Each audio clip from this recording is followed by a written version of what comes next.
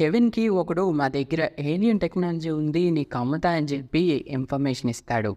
Kevin వాళ్ళు ఇప్పుడు బ్లమ్మర్స్ కాబట్టి దాన్ని ఆపడం కోసం బెన్నీ గ్వెన్నీ కూడా వేసుకుని వచ్చుంటాడు. ఈ టెక్నాలజీ ఏంటి అని చెప్తే మాకు తెలియదు అనేస్తాడు.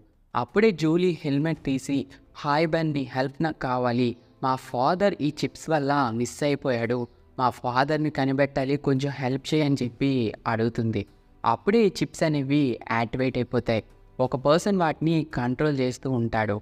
ఇంకా బెన్ ఏమో బిచ్చల్ ఏలియన్గా మారి వాడిపైకి అటాక్ చేసి ఆ చిప్స్ని కొన్ని నాశనం చేస్తాడు.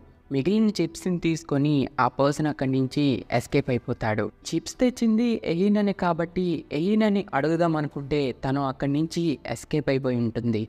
బెన్ ఫైట్ చేస్తున్నప్పుడు తనకు ఒక చిప్ దొరుకుతుంది. ఇదేంటో తెలుసుకుందామని మ్యాక్స్ తాత ల్యాబ్లో టెస్ట్ చేద్దాం అనుకుంటే తాత వచ్చి ఇది ఒక విధమైన ఏలియన్ టెక్నాలజీ అని. దీని గురించి ఎవరికీ తెలియకుండా doctor Victor Elena father experiment చేసేవాడని.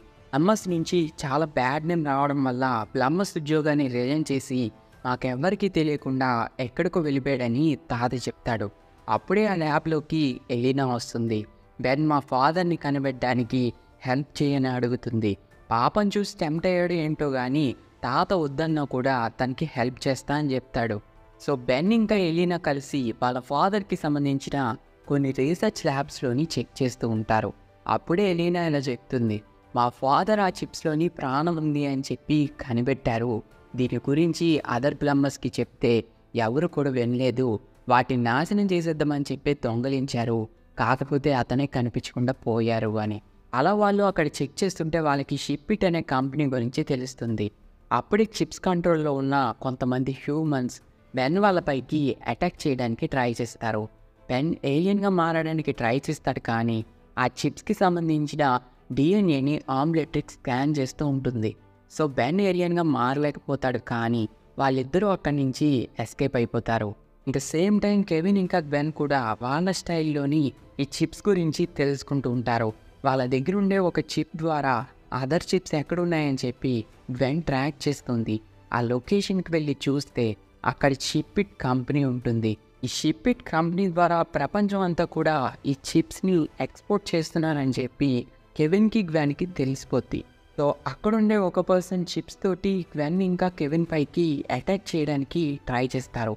అప్పుడే చిప్స్ నుంచి తప్పించుకుని వచ్చిన బెన్ వాళ్ళు కూడా కెవిన్ వాళ్ళపైకి చిప్స్ అటాక్ చేయడం చూసి హ్యూమంగసోర్గా మారి కెవిన్ కార్ని యూజ్ చేసుకుని వాటిని డిస్ట్రాయ్ చేస్తారు.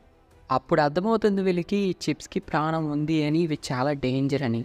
ప్రపంచవ్యాప్తంగా ఉన్న బ్లమ్మర్స్ కూడా కొన్ని చిప్స్ హ్యూమన్స్ని కంట్రోల్ చేస్తున్నాయి. వీటిని ఎలా అడ్డుకోవాలి అని చెప్పి యాక్స్ తాతకి రిపోర్ట్ చేస్తూ ఉంటారు. ఈ చిప్స్ కంట్రోల్లో ఉన్న ప్రతి ఒక్కరు కూడా క్వీన్ గురించి మాట్లాడుతూ ఉంటారు. సో ఈ క్వీన్ కనిపెట్టి దాన్ని అంతం చేస్తే కేల్ కథం దుకాన్ బంద్ అని చెప్పి ఈ క్వీన్ ఎక్కడుంది అని చెప్పి సర్చ్ చేస్తూ ఉంటారు. అప్పుడే బెన్ ఒక చిప్ తెచ్చుంటాడు కదా. ఆ చిప్కి ప్రాణం వచ్చి మ్యాక్స్ తాతని కంట్రోల్ చేసి బెన్ పైకి అటాక్ చేసి అక్కడి నుంచి ఎస్కేప్ అయిపోతుంది. దీని తర్వాత క్వీన్ ఎక్కడుందో అని చెప్పి తెలుస్తుంది.